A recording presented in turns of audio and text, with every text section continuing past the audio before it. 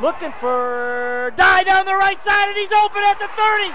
He's at the 20 and dragged down at the Nordonia 15 yard line. A big connection. It was Isaac Cantor who made a touchdown saving tackle on Dye at the 15, and that's the first big play of the night. Pollock to Jaden Dye. Dye came into this game as their leading receiver, 733 yards on the night, but that is the biggest play of the night so far for Twinsburg. Pollock to throw again, looking for Dye again, and he's got it! And he's in for the touchdown! Pollock to Dye. 15 yards and Twinsburg takes the lead at 6 to 3 with 2 minutes and 12 seconds to go in the third quarter. Pollock now. Back to Straczynski once again up the middle. Legs moving, driving forward, and he is close to another first down, and he has got it. They are moving the stick. He needed four, he got four and a half. Clock runs, 6.55 to go in the game, and the Tigers now, with a fresh set of downs, looking to either tie it with a field goal or take the lead with a touchdown. Pollock wants to throw, and he's got his man in the flat, and it's going to be a touchdown. It's Cam Wright.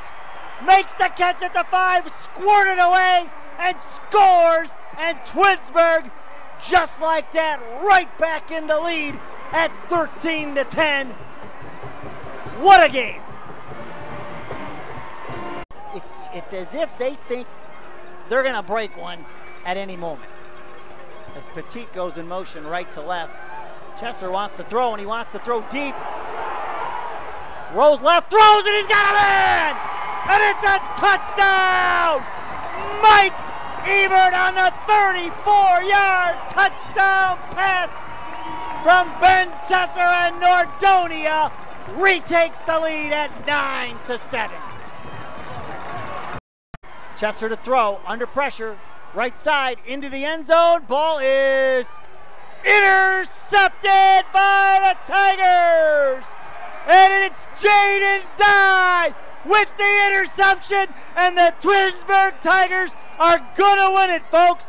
They are going to pull off the upset. They are going home winners tonight, folks. Their first playoff appearance in 13 years, their first playoff win in 13 years after a 3 and 7 season last year. They have turned it around completely and have not only made the playoffs this year, but they have won a playoff game on the road. The Twinsburg Tigers rewriting the record books here tonight. What a performance! Coach Charles Salter, the first black head coach in the Suburban League, came over from Bedford two years ago, talked about having a four year plan. Last year, it was just about everybody getting on the same page, understanding the culture, re- changing some things, getting ev- getting everything in place. This year, he wanted to build on it, and boy, has he built on it. He, he not only built on it, he has got himself a whole neighborhood already, folks.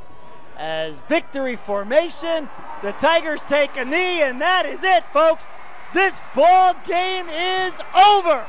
The Twinsburg Tigers will move on to play the winner of Painesville, Riverside, and Maple Heights next week in the second round of the OHSAA playoffs. What an outstanding game, folks, and this is why it is tough to beat Ohio high school football playoffs because you never know what you're going to see. So, the final score here in Macedonia at Nordonia High School.